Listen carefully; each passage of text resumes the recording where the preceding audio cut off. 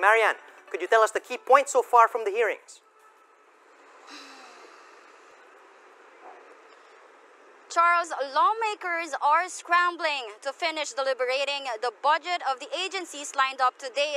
So far, they've finished tackling the budget for the uh, Information Technology and Defense, as well as for the Office of the Ombudsman, PDEA, and the Commission on Human Rights.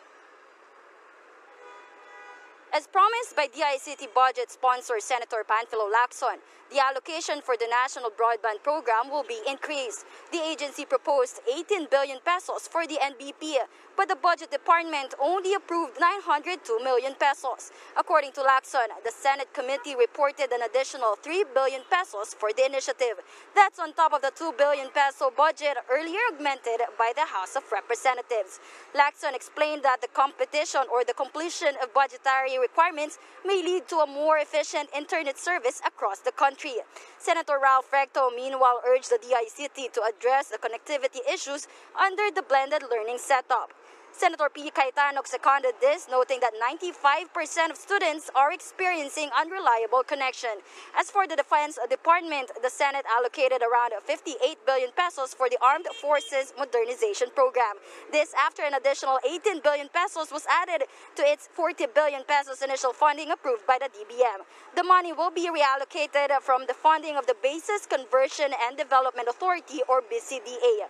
Lacson noted that more than 17 billion pesos from the previous AFP Modernization Fund was transferred to COVID-19 response this year.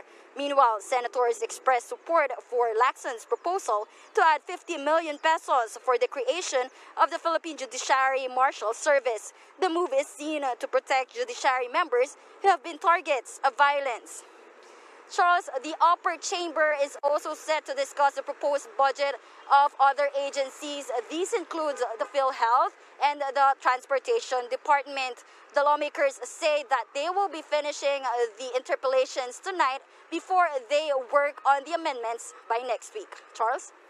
Thank you. Marian Enriquez reporting live from Quezon City.